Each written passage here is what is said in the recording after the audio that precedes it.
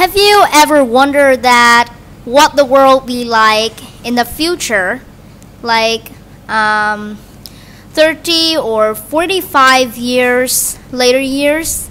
So in the future, the world can change a lot.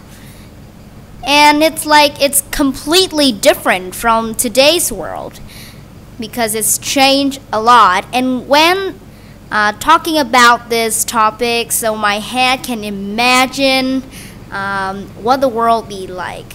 So uh, people can live uh, a completely new way and uh, people are uh, smarter, much more intelligent, they are clever, they can go everywhere and sometimes um, explore new things. So, how about uh, people, uh, students, the way they study in the future?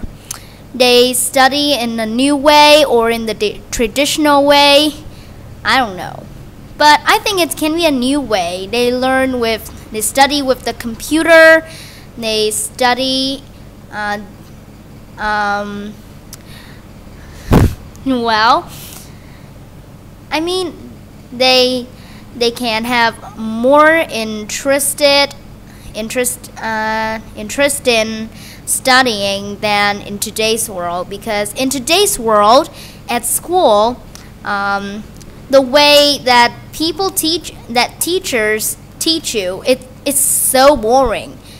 It's completely boring and sometimes it can't help you to um, to keep the the main things in mind.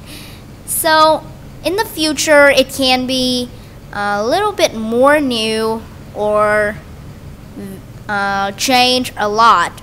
So uh, they can keep in mind, they can keep uh, everything's in mind for longer. They can keep them besides, and the way they study it, it can be more interesting. So I'm very curious. I, I really want to see it right now. And let me imagine.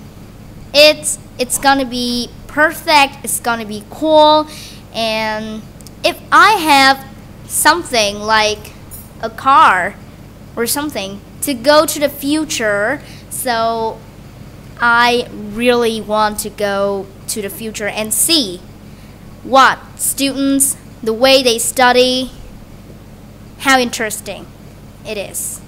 So that's all. How about you?